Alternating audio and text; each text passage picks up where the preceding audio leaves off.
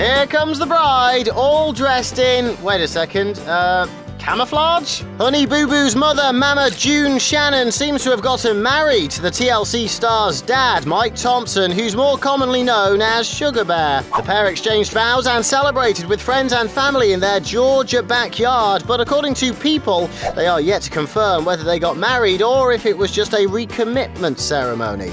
Looks like it was one amazing redneck do, with the Here Comes Honey Boo Boo bride not wearing white and instead opting for camo. June was seen donning a neon orange and camouflage gown for the ceremony, while Sugar Bear wore a matching suit. Sugar Bear is Honey Boo Boo's biological father and stepfather to June's three other daughters. And speaking of Honey Boo Boo, she was certainly looking cute in her bright pink frock. Camouflage clad Mama June and Sugar Bear later rode off into the sunset with Honey Boo Boo in tow, of course. Congratulations to the happy couple.